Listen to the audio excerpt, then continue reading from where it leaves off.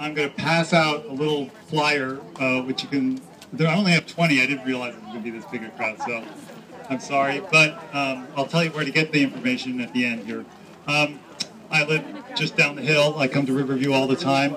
I'm going to be talking about Riverview Playfield and the Greenbelt, West Duwamish Greenbelt, which is just below and goes along uh, the edge of Riverview Playfield. Um, the Riverview Playfield has been a uh, community asset for years, and the community has been very involved. Uh, the West Seattle Baseball Club has maintained the Little League field for years.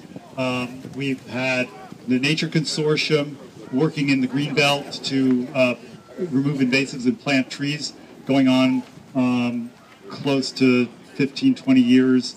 Um, we've had uh, more recently a, a, group called R Trip, uh, which I met Julie uh, uh, in that, um, and our Trip got a trails plan going and actually got some trails put in uh, back behind this fence over here and, and a couple of other places.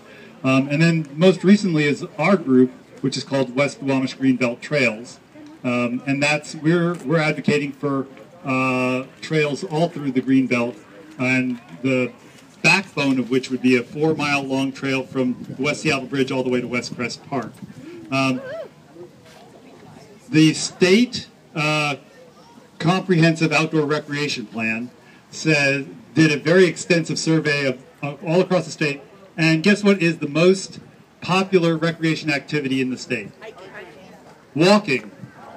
Just simple walking. I mean, you all are here. You all just walked here. You're doing it.